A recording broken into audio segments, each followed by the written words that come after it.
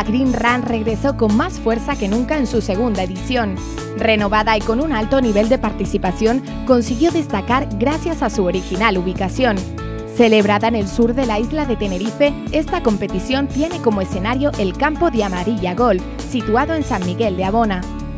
Es un terreno un poquito complicado por todas las subidas y bajadas que tiene, pero nos pareció que es un entorno diferente a, a los caminos y al asfalto que se suele utilizar en este tipo de carreras.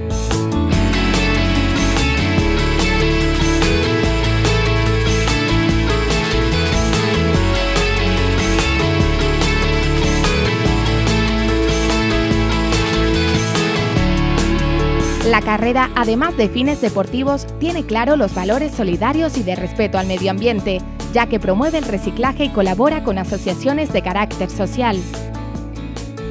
Más una carrera solidaria en un ambiente creo, espectacular, la combinación del verde del césped del mar, el azul del mar y el colorido de los corredores solidarios hoy. Es la segunda edición, pero creo que va a haber muchas más y la participación creo que incluso aumente.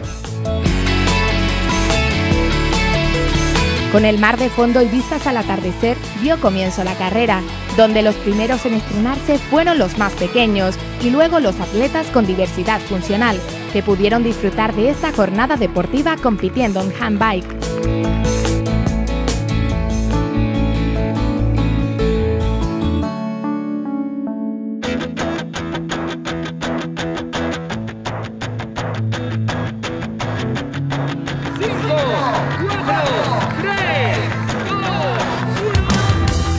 El resto de corredores atravesó un circuito cerrado de 6 y 12 kilómetros con salida simultánea, donde los atletas tuvieron que hacer frente a un desnivel de 78 metros, dando una vuelta al recorrido de los 6 kilómetros y dos vueltas al de los 12 kilómetros.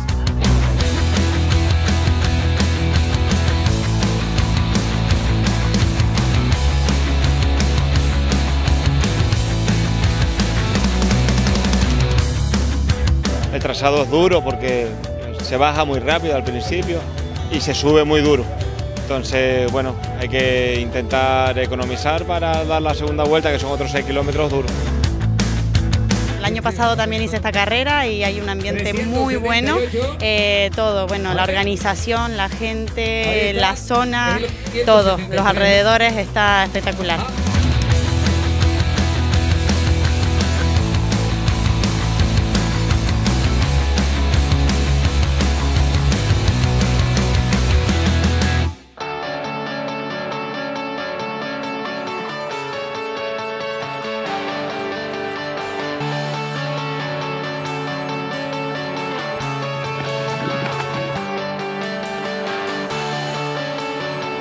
Los primeros en pisar la meta fueron los atletas de los 6 kilómetros. Liderando el podio masculino y mejorando el tiempo del ganador del año pasado, se clasificó Alejandro Rodríguez con 19 minutos y 11 segundos. 30 segundos más tarde, repitiendo un año más el segundo puesto, llegó Norberto López. En tercer lugar se clasificó Antonio Martín con 20 minutos y 12 segundos. Es una prueba súper dura, pero espectacular. El público también, el ambiente animando en todos lados también. Y ya correr por césped y la variedad de cemento y tierra, la verdad que es un espectáculo. En féminas, Guadarnedo fue la más veloz, con un crono de 27 minutos y 22 segundos. Pisándole los talones a tan solo dos escasos segundos de diferencia llegó Cristina Santana. Completó el podio Sara Patricia Caballero con 27 minutos y 47 segundos. La prueba me ha gustado mucho, se corre en distintos terrenos, es una prueba muy rápida, pero no ha sido fácil porque tenía, bueno, la, segunda la tenía ahí todo el tiempo íbamos picándonos y bueno, en los últimos metros pues pude, pude sprintar un poquito y la conseguí alcanzar. En la distancia reina, en los 12 kilómetros masculinos, el vencedor absoluto fue Roberto Carlos Vera, parando su crono en 41 minutos y 47 segundos. En segundo lugar entró en línea de meta Luis Hernández con 43 minutos y 27 segundos. Siete segundos más tarde llegó el tercer clasificado Jesús Rubio. Para nosotros que estamos acostumbrados al campo a través, a otro tipo de pruebas más secas, pues ver todo verde alrededor tuyo es emocionante. Eh, la verdad que se disfruta, se disfruta mucho del entorno, del mar, de, de la gente, había mucho público y estuvimos muy acompañados todo el tiempo. En los 12 kilómetros femeninos, las dos primeras clasificadas del año pasado repitieron victoria, pero esta vez intercambiando los puestos. En primer lugar se clasificó Jana Liseva, a tan solo un segundo de iniciar los 51 minutos. Por detrás llegó Ana Bouillon con 51 minutos y 56 segundos. El tercer puesto fue para Emma Barnes, quien consiguió un tiempo de 56 minutos y 30 segundos. La organización era muy buena, gracias por todo, me, me gustó mucho. Quiero participar en el próximo año. Nosotros seguiremos apoyando esta clase de eventos y la verdad que estamos muy contentos por la participación, la organización. Esperemos que el próximo año pues seguir creciendo. Este año estamos colaborando con Activos y trabajan para integrar a, los chicos a la sociedad, ¿no? Entonces realmente hablamos de discapacidad y, no hay discapacidades, sino que hay, hay capacidades diferentes. Así que hoy nos volcamos con ellos. La verdad que desde el apoyo que tuvimos de Ocean Booking, de MGC Seguros, de Amarilla Golf, que se implica desde el primer momento, del Ayuntamiento de San Miguel, de todos los colaboradores de Deportes Base que se implicó con la carrera, con la carrera infantil. Esperamos que le haya gustado a todos. La Green Run se despide así en su segunda edición, con un alto nivel de participación y dejando a sus corredores con ganas de repetir en una tercera edición que ya se prepara para el próximo año.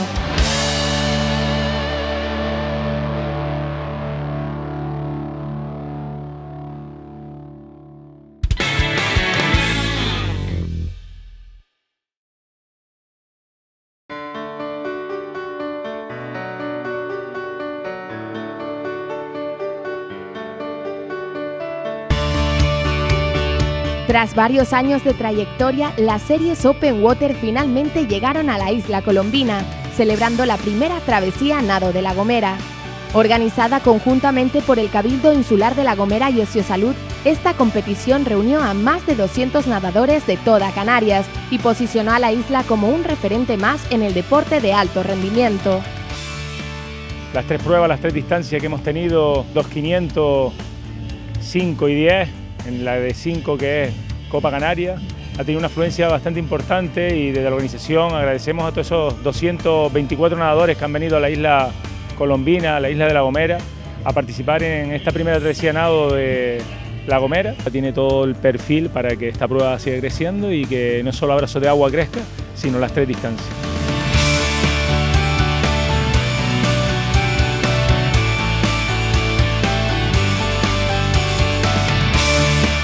Nosotros es un logro haber conseguido tanta participación en la isla, no solamente por los gomeros, sino por todos los visitantes que se han acercado a esta prueba y, han aprovechado también conocer la isla. Hay muchos que no, la conocían, estaban comentando y que, y que en el primer toma de contacto a San Sebastián pues ha sido muy agradable. La travesía contó con un alto nivel de participantes que pudieron elegir entre tres distancias, 10.000, 5.000 y 2.500 metros.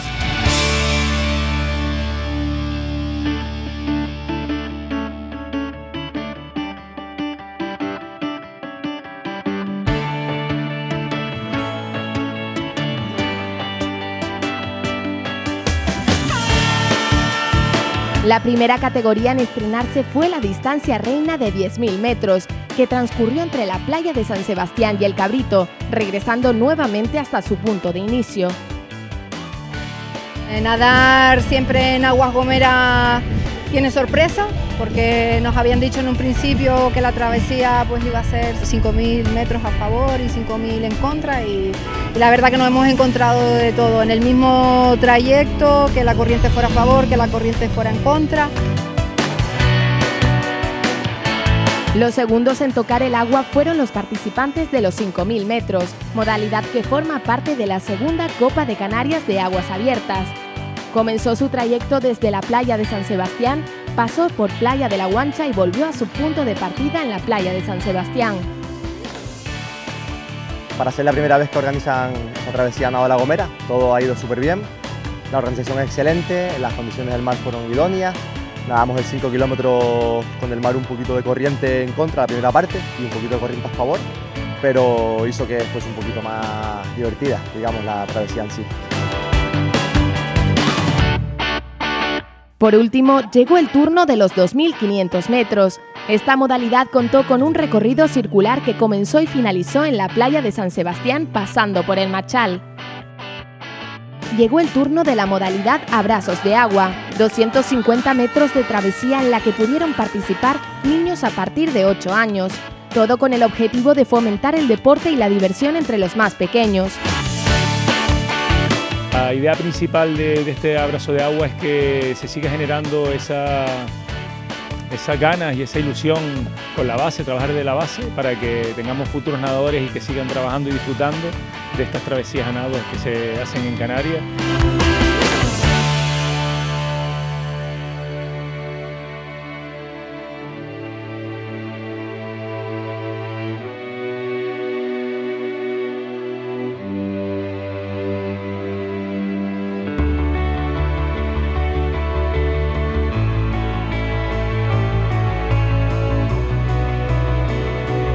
El vencedor de los 10.000 metros masculinos fue Martín Julio, que se impuso como primer clasificado logrando un tiempo de 2 horas y 30 minutos.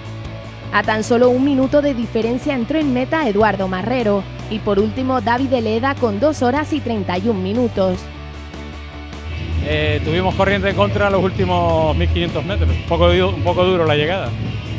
Y nada, en cuanto a la organización, todo estupendo, pero por todo lo demás muy bien, muy contento. Gracias.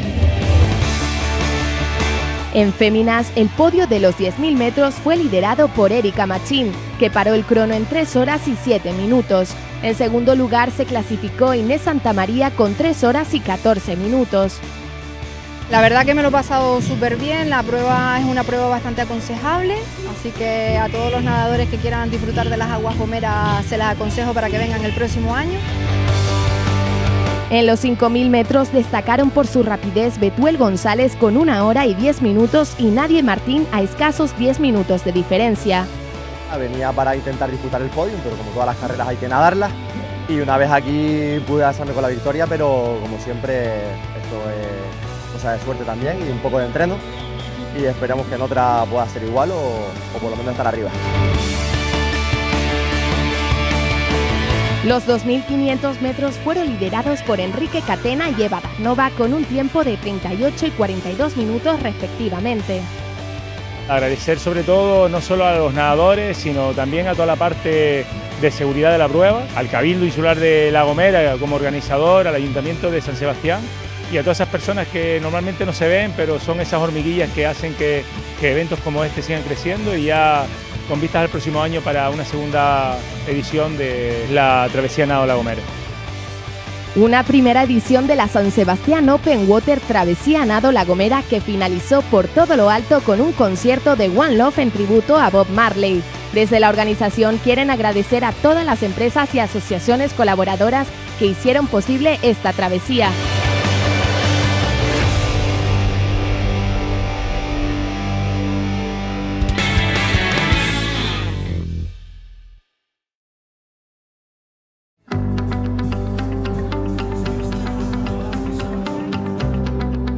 Sanitas 24 Horas RAM volvió en su quinta edición más renovada y fuerte que nunca. La carrera de ultrafondo que forma parte del Campeonato de Canarias 24 Horas eligió un año más como destino el Parque Romano de Las Palmas de Gran Canaria.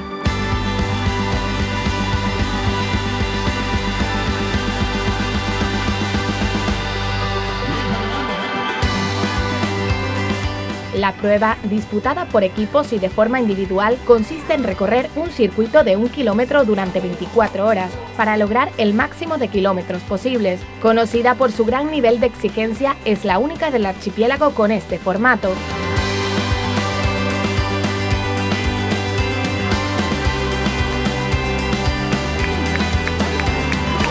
Estamos encantados de estar un año más aquí en, el Parque Romano de Las Palmas en, esta carrera tan, tan dura, tan eh, significativa en cuanto a esfuerzo y bueno, con, la participación estelar de, de Yanis Kourou, eh, plusmarquista mundial y poseedor de un montón de, de récords. Uh, it's a beautiful place, uh, the event is 24 hours. I am very pleased, it's a beautiful area, beautiful event. I hope uh, this is going to be like that, uh, like that uh, great temperature and conditions and the runners are doing very well up to now, so it's uh, inspirational.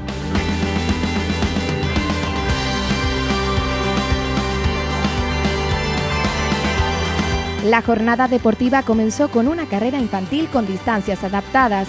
Luego los adultos pudieron competir en modalidad individual en 12 y 24 horas y en relevo de 24 horas. El circuito estuvo adaptado para deportistas de handbike y con diversidad funcional.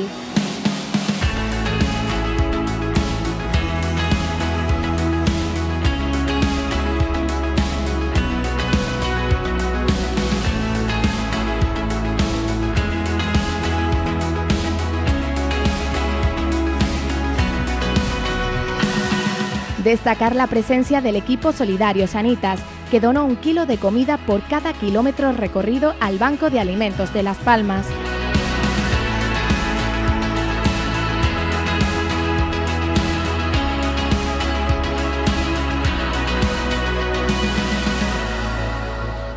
En Sanitas nos gusta fomentar los hábitos de vida saludables.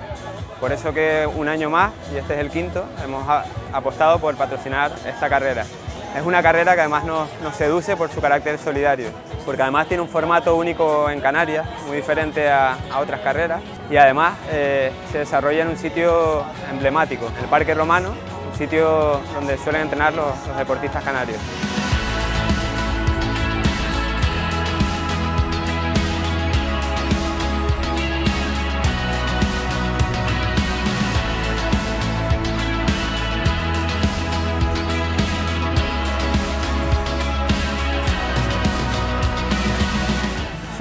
Good luck to all the organization, to volunteers, to the organization in general. I'm here to, to see people doing their best because of course everybody can improve uh, himself uh, in this field of ultra running because always there is room to get better.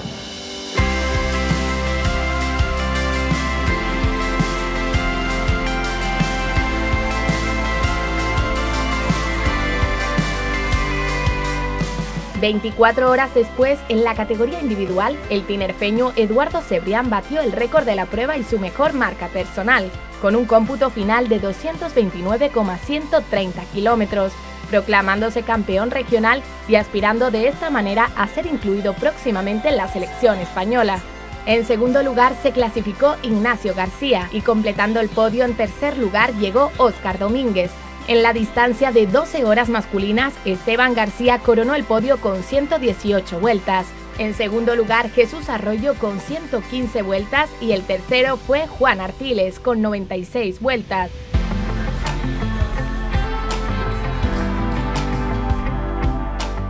Pensé que podía participar y nada, al final Empecé, disfruté de la prueba, de todo el ambiente que había, del compañerismo que hay, que es lo que más destaco. Todos los corredores nos apoyábamos unos a otros, independientemente de la distancia o modalidad que participasen.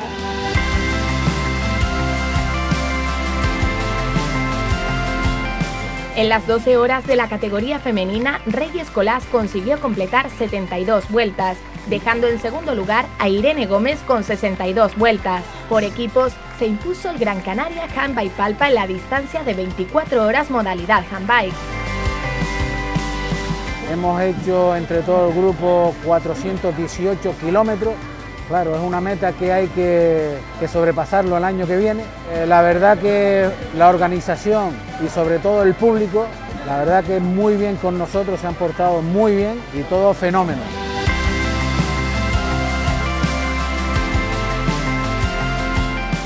En la modalidad de equipos mixtos se impuso el Fast and Furious Team. En equipos masculinos ganó el Club Deportivo Pandicornio y en femenino el Next Level 2. Dar las gracias a todos los corredores que han venido, a los voluntarios, a las instituciones que han apoyado, a Sanitas como sponsor principal y a todas las empresas involucradas en, un evento de, este calado. Sanitas 24 Horas Run se despide así un año más con nuevas marcas y un éxito rotundo que la hace revalidarse como una de las grandes competiciones de toda Canarias y de España.